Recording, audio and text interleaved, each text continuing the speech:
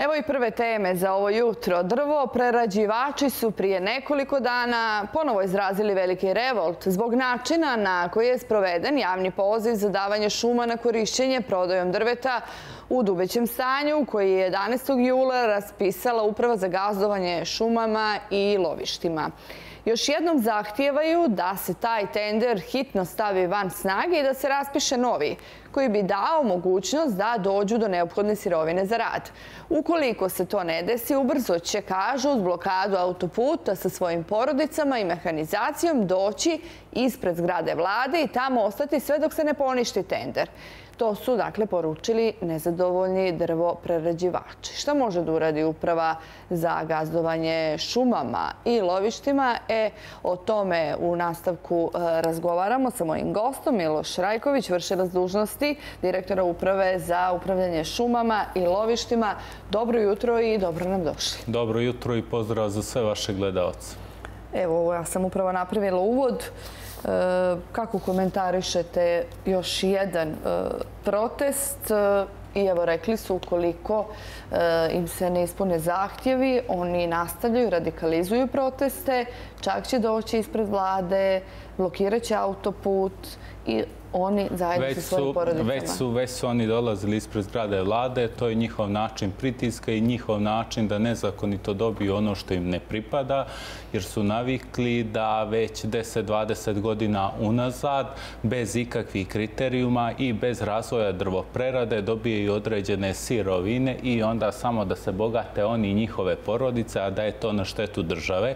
Što se tiče ovoga javnog poziva, ovo je pojedinačno najuspješniji javni poziv koji je uprava za gazdovanje šumama ikada sprovela sa najvećim brojem prodatih drvnih sortimenata i sa najvećom postignutom zaradom. Vi nećete poništiti tender?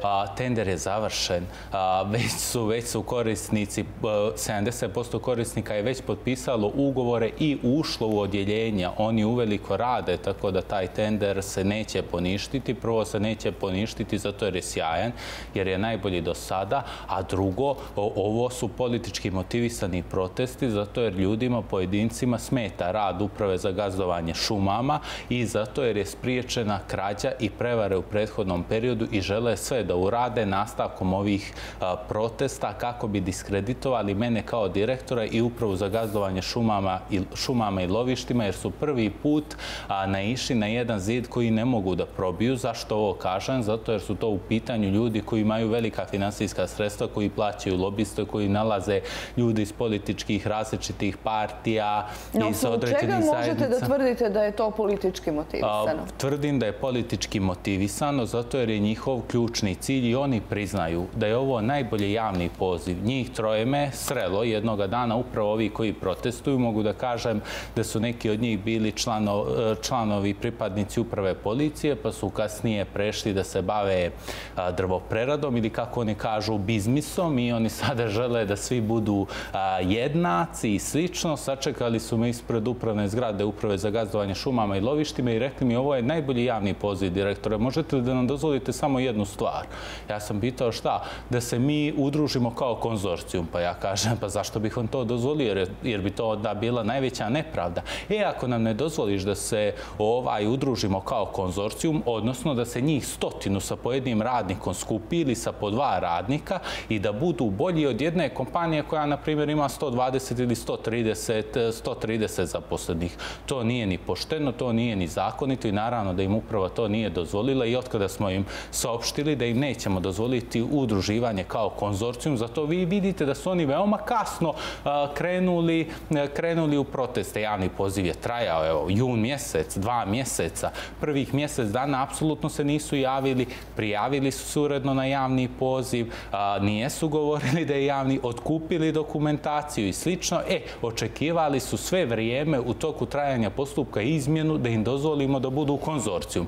Kada im nismo dozvolili, zato jer to nije u skladu sa zakonom i nije pravično prije svega sa ljudima koji zapošljavaju e, stotine radnika, koji plaćaju ogromne poreze ovoj državi, koji imaju najbolju mehanizaciju, e, koji usavršavaju drvopreradu, kada to nismo dozvolili onima koji rade sa jednim ili dva zaposlena, koji rade sa najgorom mehanizacijom, onda su oni krenuli u radikalizaciju protesta u kojoj je cilj diskreditovati mene kao direktora uprave, zato jer mogu da kažem da je ovo uprava sa jednim objektivan sam. Imamo jedne od najboljih rezultata što se tiče uprava u Crnoj Gori, posebno bespravne aktivnosti. Prošle godine u ovom periodu je već bilo hiljade kubika bespravno posjećenih drvnih sortimenta. Danas taj broje nije... Koliko je danas? Danas je to oko 200-300 kubika. Prošle godine primjera radi samo u dva grada je bilo preko 5000 kubika. To je zato, ovaj, zato što ovaj direktor i ovaj menadžment radi i zato što smo im zabranili na pilane da uvoze tu nedozvoljene te drvne sortimente i onda imaju problem. Ali moram da kažem još jedan dio. Kažu država da im obezbijedi sirovine. Država nije dužna nikom da obezbijedi sirovine. Ovo je slobodno tržište. Zato smo i raspisali javni poziv 2. Javni poziv 2, to je ključno. Je. Upravo način da se oni dotkriju svoje lice. Jer su se bunili da je kriterijum cijena e, lokalni kriterijum i, i, i radnici zajedno, a to je od uvijek tako bilo. I svi direktori su znali da to moraju promijeniti. Ali niko nije mogao da stisne da ide do kraja. Pokušano je nešto početkom, mislim, 2021. godine, ali onda su pravili pritisak i promijenili su ponovo uslove javnog poziva. Prethodni direktor isto pokušao da promijeni uslove javnog poziva, odmah su ga pritisli. Isto kao što su pritiskali za početne cijene, jer oni žele samo da smanjuju cijene i da uzimaju što jeftinije drne sortimente. Primjera radi, ovi najveći protestanti, ta firma DO Sloga i Jela, oni su kao konzorcijum od 2012. do 2019. godine uzeli skoro sve rožajske šume. Znate za koliko? Za 14-15 eura po metru kubnog. Prodajna je cijena od 50, 50 do 100 eura. I ništa nijesu uložili u svoje pogone, nego su samo se radili na... E, to je u stvari problem. Zašto ovaj direktor smeta? I većina od njih, oni zloupotrebljavaju, nažalost, meni je žao, i lica sa invaliditetom, zapošljavaju ih, onda uzimaju subvencije od države u drvopreradi. Vi znate koliko su to teški poslovi i koliko je, koliko je ozbiljno raditi, da. to mnogo Jeste li govori. vi ovih dana, nakon ovog njihovog poslednjeg protesta, razgovarali sa nekima od njih? Je li vas neko pritiska ovih dana?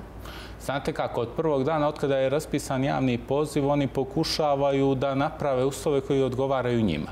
Ali ja malo drugačije funkcionišem. Mene ne može niko da pritiska jer znam da radim zakonito i znam da radim ispravno i uvijek sam im rekao sve što imate, imate jednu adresu.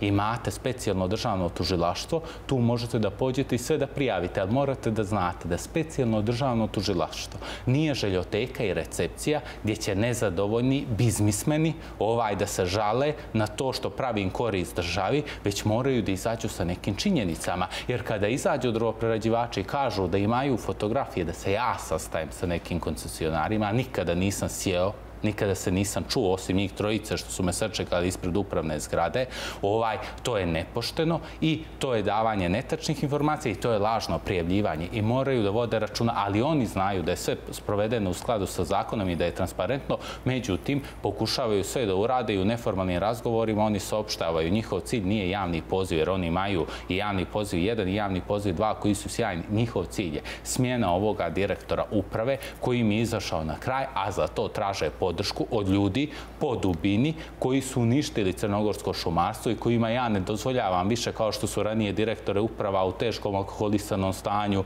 zvali, izdavali naredbe, koristili neke neartikulisane krike. Ja ne dozvoljavam da me niko na taj način zove, da niko na taj način komunicira sa mnom. A ko može vas, ko to može da pa zove? Ste vi sa ministarstvom pa, razgovarali? Kakav je njihov stav? Pa ja svaki dan razgovaram sa ministrom. Ja svaki dan razgovaram sa ministrom, ali ne, i ministar... Hoće li vas podržati da istrete? Ministar mene već podržava i ministar vodi politiku ministarstva. Politiku ministarstva ne može da vodi jedan državni sekretar kojem je porodica uzurpirala šumsko zemljište, posjekla šumu i tu zasadila zasade, malinjaka i nekih drugih, u bijelom polju, evo da ne preciziram, ali rekao sam vam dosta. I politiku ne može da vodi jedan načelnik koji uništio crnogorsko šumarstvo, koga je Petar Ivanović doveo u Ministarstvo poljoprivrede, šumarstva i vodoprivrede bez jednog dokumenta, bez javnog oglasa. Jednostavno, samo je donio rješenje o raspoređivanju toga lica. Jeste, ali to je bitno. Znate kako? Uvijek je pitanje kako i zašto. Zašto se nešto desilo? Moramo odgovoriti na ta pitanja. Ne kažem, ti ljudi nisu sad ovdje da ne pominjamo. Pa ti ljudi e. juče, evo, ja nijesam objavio reagovanje televizije vijesti čitav je dan držala na portalu. Nisam htio jer, evo, imam šansu da gostujem u vašoj televiziji gdje su, zahvaljujući... To je na portalu, mi odgovaramo za ovo na televiziji. Sve ništa sporno. Eto, da nastavimo. Dakle, vi ostajete pri ovom vašem stavu, tender je javni poziv je završen. Ne ostajem ja pri stavu. Nema tu moga stava.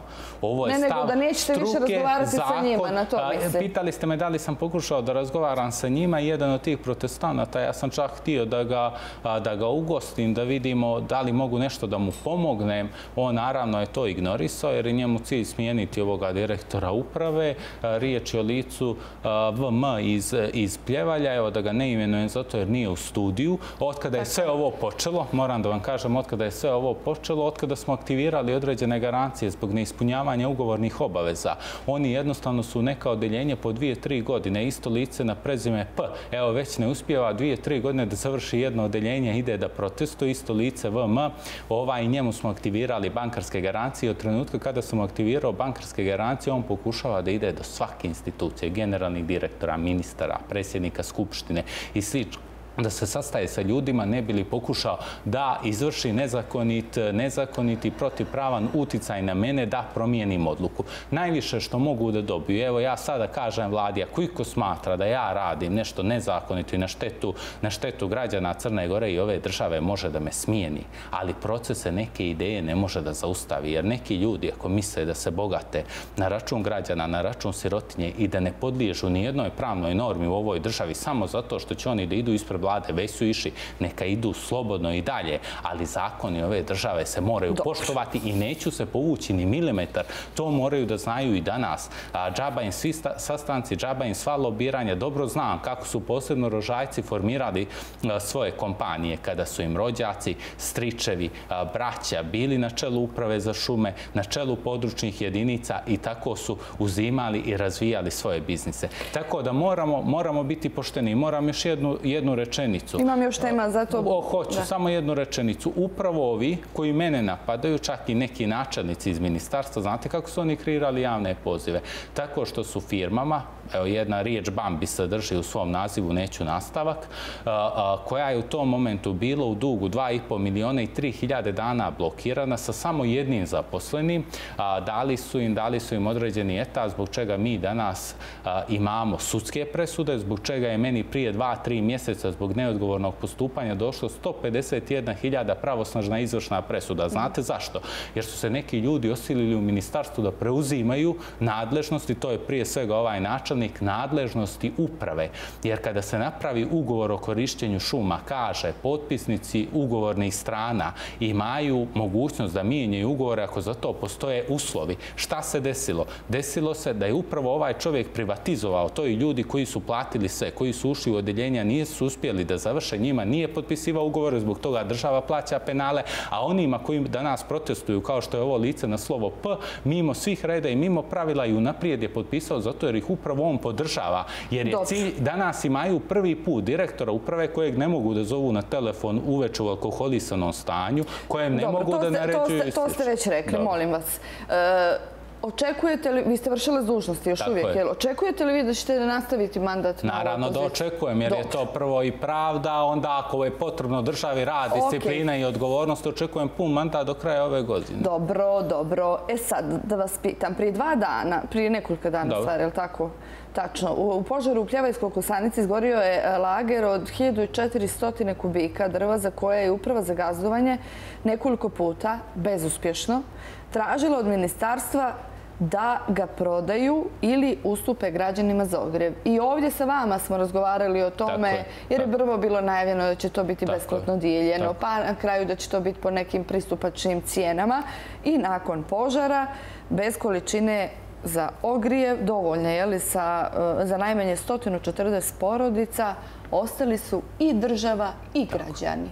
E sad, Šta se desilo? Evo, samo ukratko, znači... Imamo svega 5-6 minuta, Hoću, mi smo građanima, moram odmah da vam kažem da smo mi građanima pomagali. Sve što smo mogli, mi smo građanima pomagali i nešto davali besplatno, nešto i po pristupačnim cijenama. Međutim, ja sam problematizovao pitanje ovih lagera. Lageri su se zapalili, e, izgorelo je blizu hiljadu, možda je nešto sačuvano, ali sigurno oštećeno, ali sigurno je oko hiljadu kubika e, sagorelo u tom požaru. Jeste 1400 i ukupno na lageru, ali još nismo poslali komisiju da utvrdi tačno koliko je sagorelo, ali definitivno 1400 kubika je bilo obuhvaćeno požarom.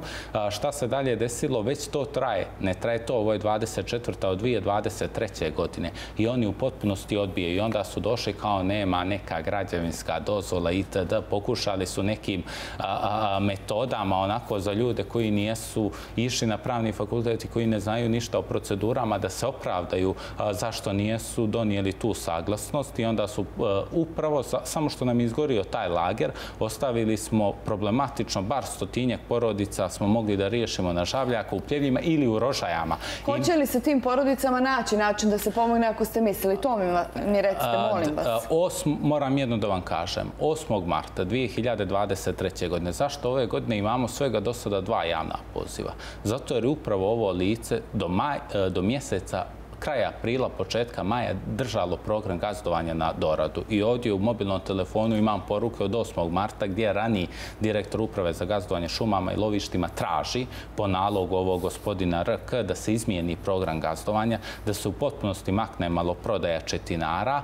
Ovaj, to moram da ali to je sve bitno. A znate zašto je ovo bitno? Građane sad zanima, ove koji su čekali pomoć, hoće li oni dobiti? To mi recite. Hoće dobiti ako se uradi upravo svaki moj odgovor ima ima e, e, pozadinu. Mora da se odradi reprogram programa gazdovanja. Na današnji dan ja sam e, do sada napravio drugu urgenciju za privatne šume i za maloprodaju četinara. Zašto to govorim? Jer sada ljudi u svoje privatne šume koji su predali zahtjev, ako se ne uradi rebalans... Ima li rebalans za privatne šume? Pa ja očekujem svaki dan da se to stavi na dnevni red vlade, rebalans za privatne šume i rebalans za maloprodaju, kako bi ovi ljudi, posebno kažem, na žabljaku, u pljevljima i u rožajama prvo mogli da se griju, a onda kako bi ovi u drugim gradovima i svojih privatnih šuma mogli da koriste drvne sortimente. Oni će morati gore da se griju za 20 dana. Pa morat će, zato ja apelujem. Ja sam poslao, ja sam poslao i prošle sedmice jednu urgenciju i upravo ovo je sve cilj da se uruši uprava, uprava za gazdovanje šuma šumama. Ovo je cilj sve da se uruši, da se jutra,